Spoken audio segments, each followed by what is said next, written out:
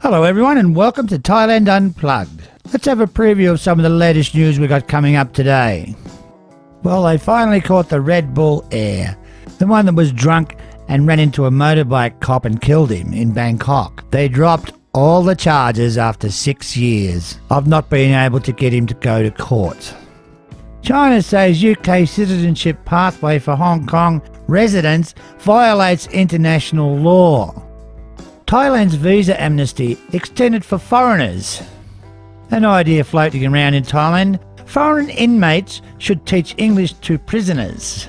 Hello, I'm Stephen Clark, bringing the news from Southeast Asia and the wonderful land of smiles, Thailand. Those and many other stories all coming up.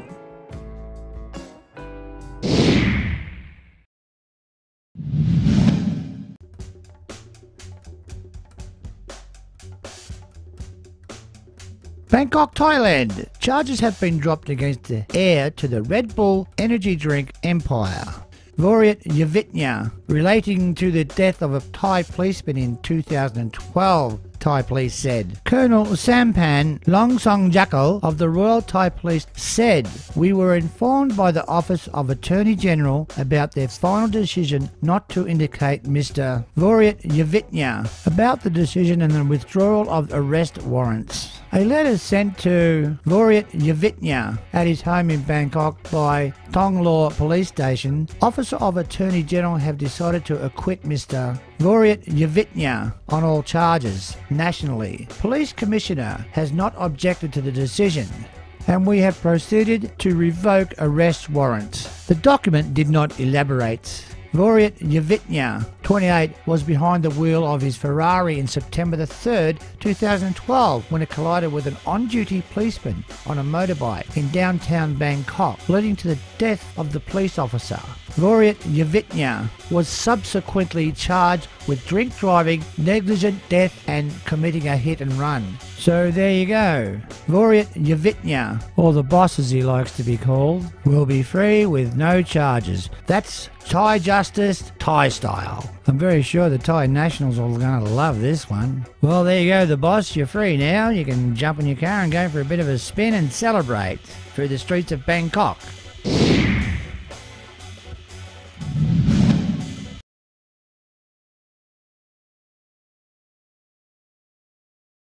A new British policy allowing Hong Kong residents to claim British citizenship is a violation of international law and interferes with China's internal affairs, Chinese ambassador in London said. British Interior Minister Priti Patel said on Wednesday that Hong Kong people with British national overseas visas would be able to apply for citizenship starting from January 2021. Britain had made that decision despite opposition from Beijing and China that they would respond strongly if it was not reversed, the Chinese ambassador said in a statement. The move severely violates Britain's own commitment, seriously interfered with the internal affairs of China, and seriously violated international law and the basic norms of international relations, it said. London's decision, which would allow nearly 3 million Hong Kong residents to settle in Britain, came after Beijing imposed a national security law on the former British colony that democracy activists said would end the freedom promised in 1997 when the territory was returned to Chinese rule. China will make a forceful counterattack to the UK's wrong actions, said Chinese Foreign Ministry spokesman Wang Wenbin at a daily news conference. China urged the UK to give up its fantasies of continual colonial influence in Hong Kong and immediately correct its mistake, he said. Britain says the new laws imposed on Hong Kong breaches the terms of the handover treaty agreed in 1984. China accused Britain of interfering in Hong Kong the Chinese side urged the British side to recognise the reality that Hong Kong has returned to China, to look at that Hong Kong national security law objectively and immediately correct its mistake, the embassy said. Can you honestly believe anybody with any brains would make those statements? When is the Chinese Communist Party going to learn to stop making threats to the West? You broke your promise to leave Hong Kong alone.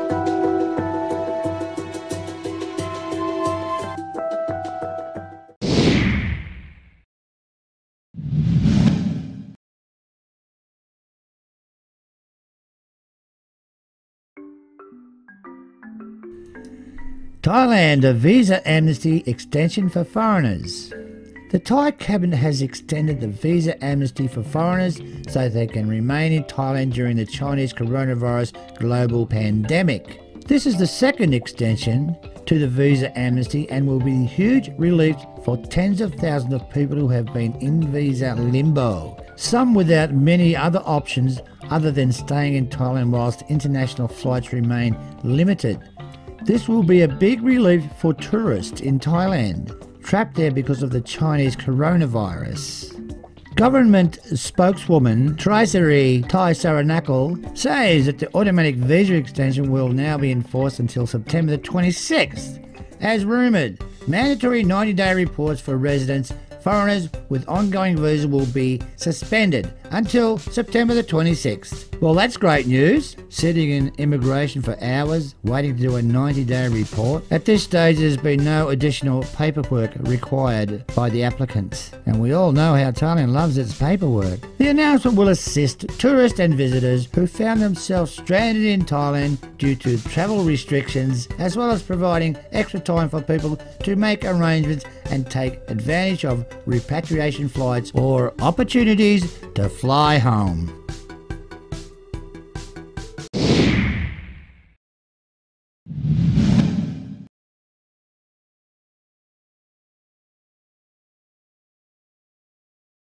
Justice Minister Somsak Thepsuthin suggested that the Correction Department should consider using foreign inmates to teach English to fellow prisoners to supplement their occupational training. Mr. Somsak floated the idea on Monday when he and Labour Minister signed an agreement to step up cooperation between Justice and Labour ministers to address the problem of ex convicts' employment. The Labour Minister said that under the agreement, the Employees and Skill Developments Department of the Labour Ministry will provide training courses in various occupations for inmates before they are released and issue them with certificates to convince businesses operating to hire them. The Labour Minister is also looking for employers, both inside and outside the country, to accept trained inmates who suit their requirements, he said. The two ministers are already cooperating to provide skill training for inmates. In 2019, 8,084 inmates received occupational training, and 70 to 80% of them found jobs after release. In 2020, the two ministers aim to train 1,840 inmates for jobs that are in demand, such as construction workers, carpenters, and electricians. Mr. Somsak said Corrections Department is responsible for selecting inmates for training. Between 20,000 to 30,000 inmates have been targeted.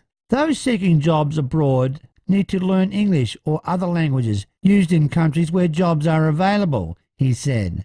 As there are now about 2,000 foreign inmates in prisons, the Correction Department has been assigned to select some of them with potential to teach English to other inmates. This could be a major step forward for prisoners and youth in correction programs to be able to return to society with greater job opportunities, Mr. Somsak said.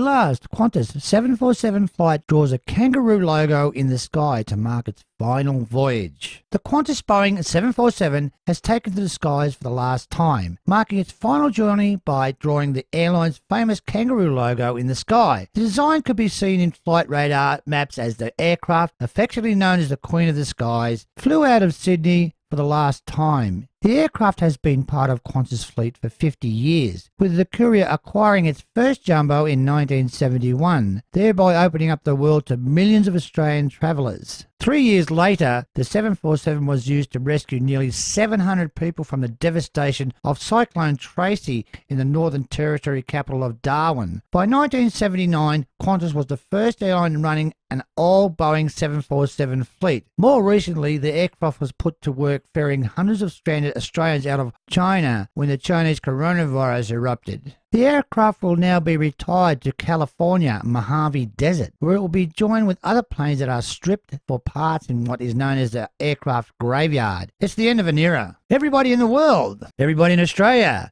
know the shape of the 747. It's like aeroplane jelly and Vegemite. It's always been there. We don't know life without the 747. It's hard to overstate the impact the 747 had on aviation and a country as far away as Australia. It replaced the 707, which was huge leap forward in itself, but didn't have the sheer size and scale to lower airfares the way the 747 did. Time has overtaken the 747, and we now have much more fuel efficient aircraft with an even better range in our fleet, which is the 787 Dreamliner that was used in Perth to London, and hopefully before too long the Airbus A350 for our Project Sunrise flight, non-stop to New York and London. The retirement of the 747 from the Qantas fleet comes as British Airways that it too is scraping the iconic Jumbo. A British Airways spokesman added that while this was always the plan, the shutdown in world travel due to the Chinese coronavirus has brought it forward a number of years. We are proposing to retire our entire 747 fleet with immediate effect. It is unlikely our magnificent Queen of the Skies will ever operate commercial services to British Airways again due to the downturn in travel caused by the Chinese coronavirus global pandemic. It is understood there are now fewer than 100 Boeing 747 aircraft still operating around the world, and it will be very sad to see them all go.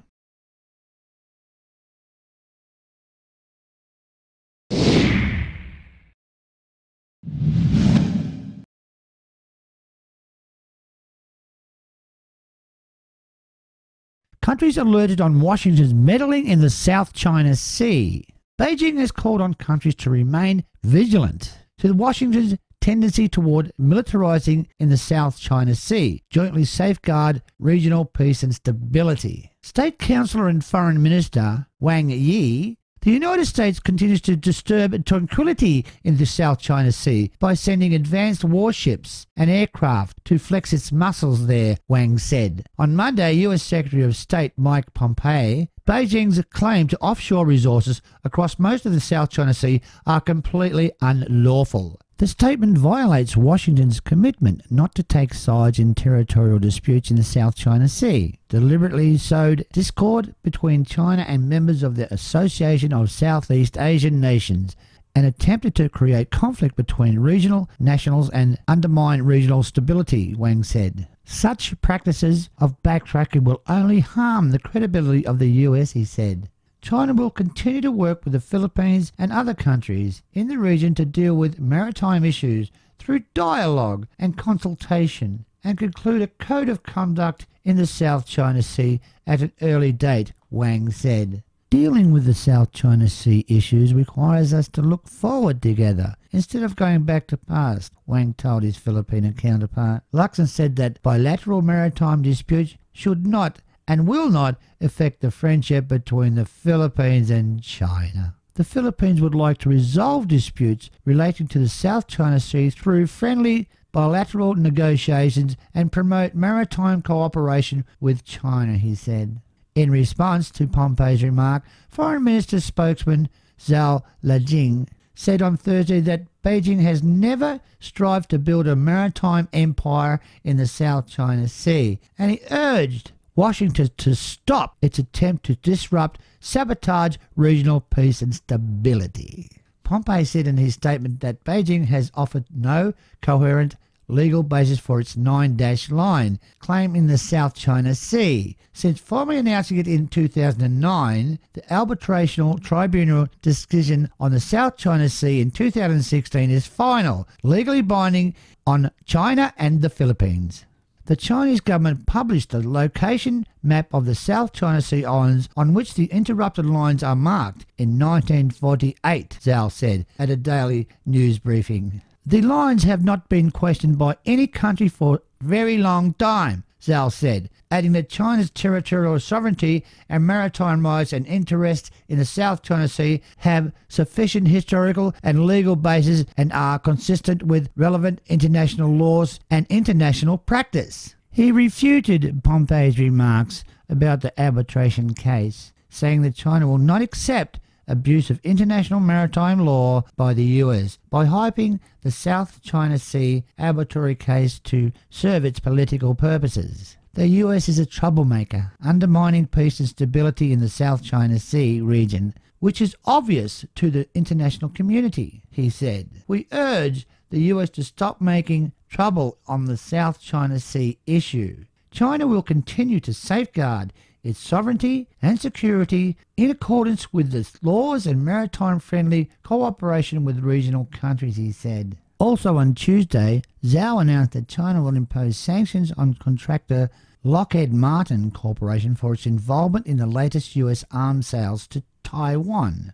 The company is the main contractor for a 620 million upgrade package for Taiwan's Patriot surface-to-air missile, which was approved by the US last week. These sanctions are necessary measures to safeguard national interest, Zhao said, calling on the US to end its military ties with Taiwan and stop selling weapons to the island in order to avoid further harming China US ties and cross strait stability. Zhao Fengling, a spokeswoman for the State Council Taiwan Affairs Office, said that the Democratic Progressive Party authorities' efforts to seek independence are due to fail, and these moves will only undermine peace and stability across the Taiwan Straits and bring disaster for the people on the island.